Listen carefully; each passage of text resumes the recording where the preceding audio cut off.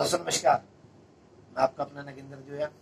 और दोस्तों, आज हम बात करेंगे कि आप मौसम के अनुसार भी हमें पानी पीना चाहिए किस बर्तन में?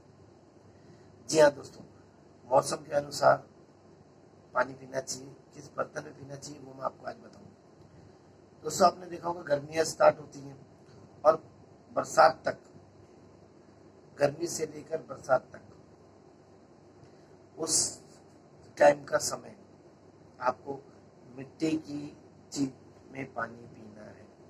चाहे वो घड़ा हो, चाहे मिट्टी का बर्तन हो, आपको उसमें पानी पीना है। जैसे होली के टाइम गर्मी चालू हो जाती है और बरसात तक, बरसात के शुरू होने से पहले। वो टाइम है दोस्तों, मिट्टी का।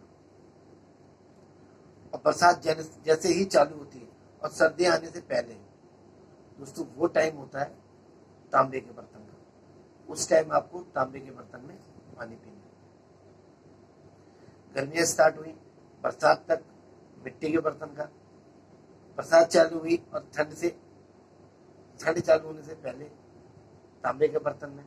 और ठंड होने के बाद, ठंड जैसे चालू हुई और गर्मी तक, जैसे अक्टूबर में ठंड आ जाती है और मार्च तक ठंड रहती थोड़ी थोड़ी, या फरवरी तक मान लीजिए।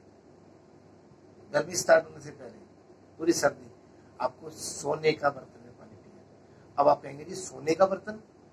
इतनी महँगाई हो गई दोस्तों, कहाँ से सर हम लेके आए? जी हाँ दोस्तों, सोना के बर्तन में का मतलब है, कोई भी आपका किसी भी तरह का बर्तन हो, स्टील का हो, कॉपर का हो, एल्यूमिनियम का हो, उसमें सिर्फ़ और सिर्फ़ सोने की चीज़ डाल लीजिए। रात को आपने एक अंगूठी डाल के उसमें रख दी। चाहे मान लीजिए तांबे का स्टील का बर्तन है, उसमें आपने सोने की अंगूठी डाल दी और सुबह उठ के वो पानी पिया। अब आप कहेंगे जी, फ़ायदा करेगा? फ़ायदा कुछ तो करेगा, लेकिन नुकसान भी नहीं करेगा उससे। क्योंकि दोस्तों, सोना वैसे तो हम लाएँगे तो बहुत महँगा पड़ेगा वो हमारे बजट से बाहर है। लेकिन घर में कहीं ना कहीं किसी के पास कुछ ना कुछ तो होता ही सोने। चाहे अंगूठी है चाहे चैन है, चाहे कान की बाली है, वो डाल दीजिए, उसका फ़र्क पड़ेगा। अब दोस्तों, आप पूछेंगे कि सोना करता क्या है? दोस्तों, सोने की तासीर होती गर्म और चांदी की होती ठंडी।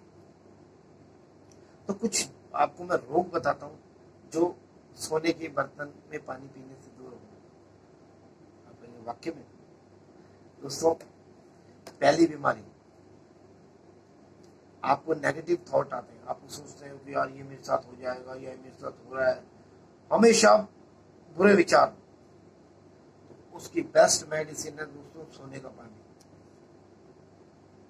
आप हमेशा कहीं ना कहीं खोए रहते हैं डिप्रेशन में चले गए किसी बात को लेके इतना माइंडली अपसेट है, वो डिप्रेशन में चले गए तो उसके लिए भी बेस्ट मेडिसिन है ये सोने का पानी। जिन भाइयों को, बहनों को नींद नहीं आती उनके लिए बेस्ट मेडिसिन है सोने का पानी।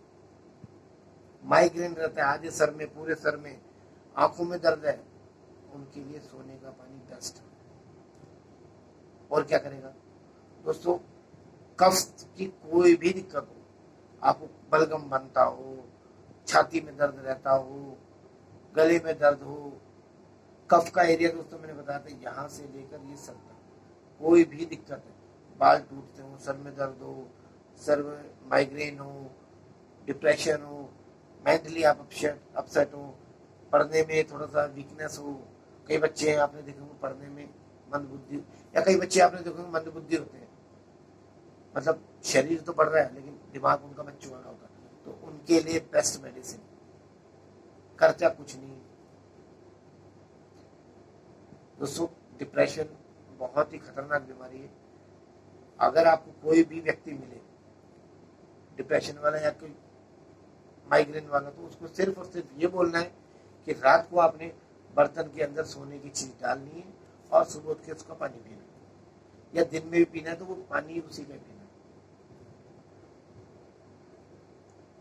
तो मैंने आपको नियम बताया किस मौसम में पानी पीना है। गर्मियों में घड़े का पानी, बरसात में तांबे का पानी और सर्दियों में सोने का पानी।